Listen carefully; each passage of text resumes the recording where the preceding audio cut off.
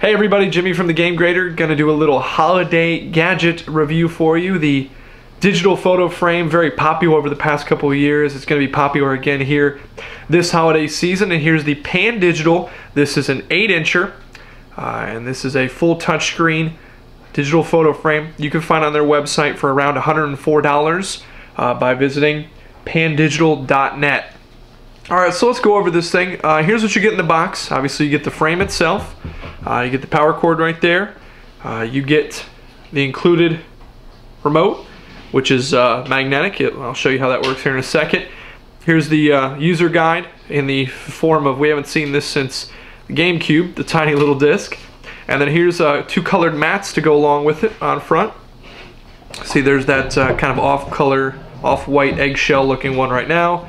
This is white, you could throw that on there. And then of course they have, this is kind of a, well, one side's a brown, the other side is a black. So there you go right there, you could do that. Kind of left the eggshell color one on there uh, because I like the way it looked. Anyway, let's take a look at the back here. There's also this included plastic piece right here, which will help uh, fortify the stand. Uh, so you can attach this to the stand, it helps give a little more, uh, especially for the higher uh, tables. Anyway, take a look at, uh, at this thing. Uh, it has a gig of internal memory, so you could go, uh, there's multiple ways you can import and multiple sources you can use. This is a USB, uh, mini USB right there. Uh, and then here's your large USB, you can use a, a flash drive or anything like that. Here's your compact flash slot right there. And then I like to use, this is an 8 gig, non-included, none of these are included obviously. This is an 8 gig SD card that goes in right there. Uh, up top, although it is touchscreen, there are physical buttons, menu, exits. Uh, you can move up and down or left and right within uh, menus, and then there's enter there in the middle. And on this side, this is the power switch, the brightness dial right here, and then there's where the power goes in. Alright, so we'll turn this baby on right here. Again, this is an 8 inch uh, with the included remote, which will connect right here magnetically, so you do not lose it. There it is, magnetic connection. So we turn it on. Uh, this is 800 by 600 resolution. Obviously this is a 4 by 3 not widescreen, just your standard box.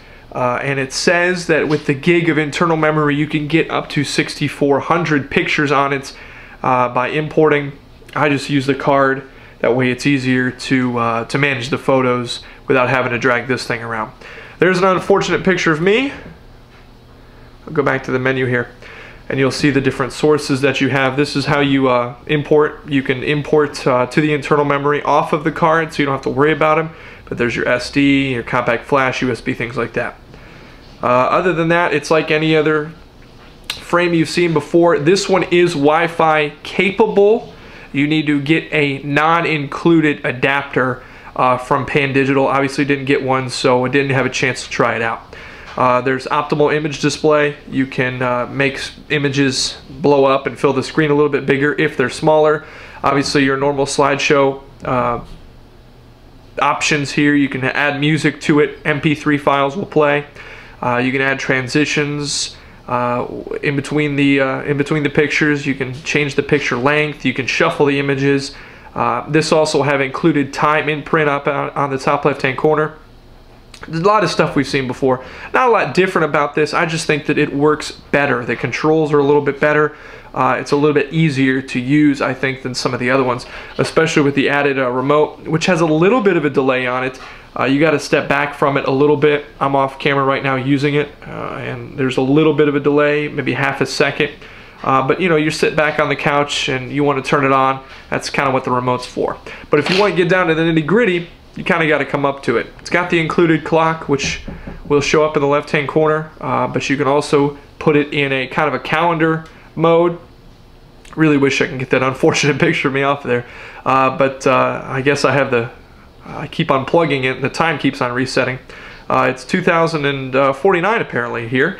Uh, but there's kind of like a cool calendar. Uh, this is for your desk, things like that. That's kind of a cool mode, um, I think, for for something we've never seen before from, from the frame. Uh, also, you can put recipes on it. Uh, I can't cook unless it involves a microwave, so don't really need that. Uh, the Wi-Fi, you need to get the USB Wi-Fi adapter, and uh, and then that'll connect to your wireless network. Obviously, didn't have a chance to do that. All right, obviously it, it will play your photos and uh, it'll play your music, but uh, one of the issues that we had was with video, and it took a lot of work to get this to actually work, and uh, it will play AVIs, uh, AVI files. Obviously, that's just, uh, if you're familiar with video, AVI is not really a video format, it's kind of just like the wrapper that the video is in, just to kind of explain it basically. There's a lot of internal stuff that you need to do to get the AVI file to play. This top one is an AVI file without any compression, and if you notice, we'll hit it We'll just scroll up to it.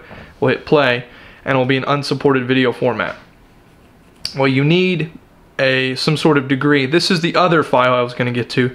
You need some sort of uh, physics degree to figure this out. You need to change the compression uh, to Apple Motion A, and uh, if you don't have uh, the ability to do that, then uh, I don't know what to tell you. I mean, I, I, I use a program called uh, MPEG Streamclip, and that will uh, convert it, convert the compression, but if you notice it plays it really, really slowly, and that's in slow motion. That's not intended.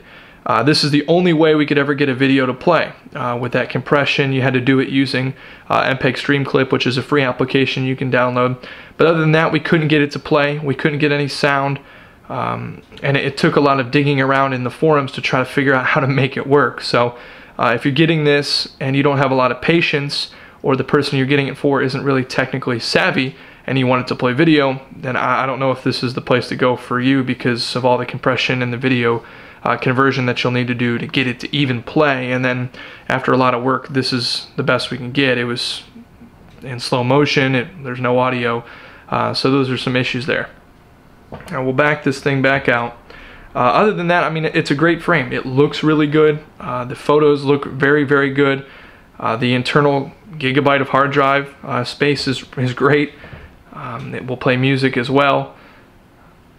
And the photos look pretty good. This is a 4x3. It's not uh, widescreen, so um, you can play a little bit with the images to get them to zoom and things like that. But uh, other than that, uh, the, the touch screen is, is good, nice and responsive.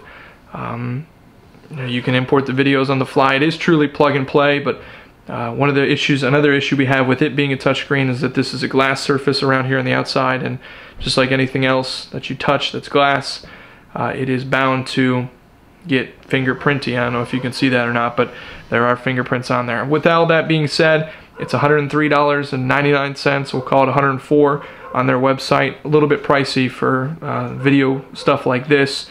Uh, if you're getting it for a video, and uh, you know it's a good looking uh, photo frame, but really for $103, the other photo frames are coming down in price. Uh, this is a little bit pricey. Um, you add up all those things and we're going to give it a, a B minus. I, I think this is a pretty good photo frame. It's a little pricey and the videos, it, again, you need a kind of a, a master's degree in video conversion to figure out how to get it to work. But there's a lot of good stuff here. Uh, the, the frame looks good, 800 by 600 resolution once again. Um, and it's, it's in a good looking uh, frame. That's going to do it for another video review. Thanks for watching. This is our review of the Pandigital 8-inch photo frame, touchscreen photo frame, right here on the Game Grader.